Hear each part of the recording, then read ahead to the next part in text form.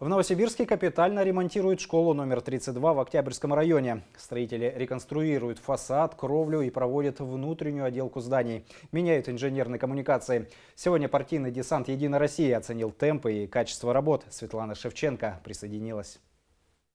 Школа 32 состоит из двух корпусов. Этому двухэтажному зданию 70 лет. Здесь обучается начальная школа. А этот четырехэтажный корпус построили около 40 лет назад. Он предназначен под 5-11 классы.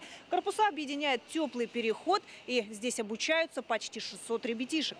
Пока в школе ремонт, ученики ездят на занятия в педагогический лицей имени Пушкина. Подрядчик заступил на объект в апреле этого года. В планах замены инженерных систем, ремонт фасада, кровли, входных групп лестниц. В зданиях заменят двери и проведут штукатурно-малярные работы.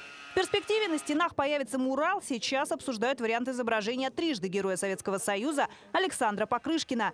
Помимо просторных классов появится место под дополнительные занятия. Мы хотели бы консолидировать усилия с э, рядом находящейся школой искусств 25, с детским спортивным клубом «Исток».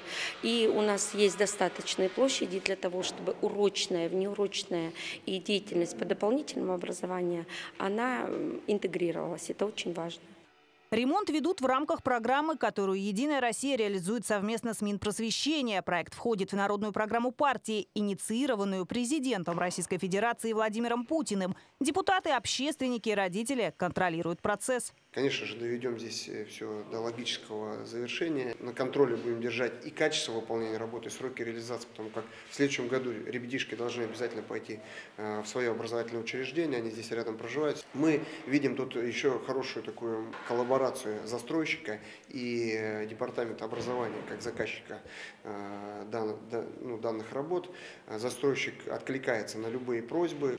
Одной из таких просьб стала современная спортивная площадка. Ее уже построили. У нас на округе все больше и больше добавляется а, новых э, домов, жителей становится больше, ну и детишек, конечно, будет больше. Я как любитель спорта, вот у меня спорт, спортивные площадки, развитие молодежи в рамках спортивных мероприятий, то есть для меня это, наверное, самое такое интересное. Ну и, конечно, ждем, надеемся э, реализацию тира в школе, потому что военно-патриотическая подготовка – это сейчас очень и актуально, и нужно. Сегодня готовность объекта 28%. Общая стоимость ремонта почти 136,5 миллионов рублей. Закончить работы планируют в июле 2025 года. Всего в рамках народной программы в регионе отреставрируют 36 школ. Светлана Шевченко, Андрей Дулепов. Новости ОТС.